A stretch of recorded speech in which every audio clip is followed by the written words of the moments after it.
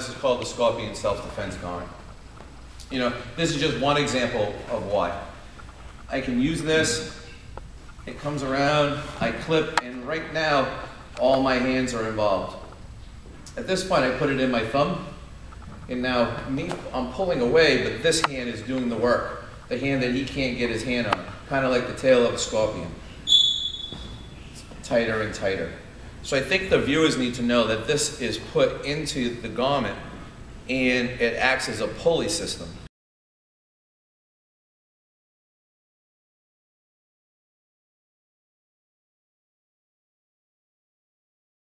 The other piece is I have both hands under his arms.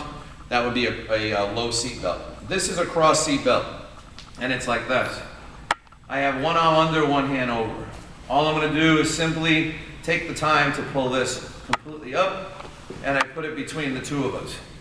After it's between the two of us, he's holding me, I'm pushing. And that gets him to let go.